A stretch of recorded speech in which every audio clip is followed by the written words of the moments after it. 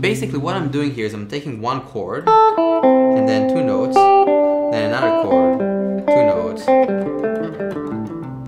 And of course, when I do my morning practice stuff, so I would play it all across the guitar in all the positions and, and then I'll make music with it, or this I'll try.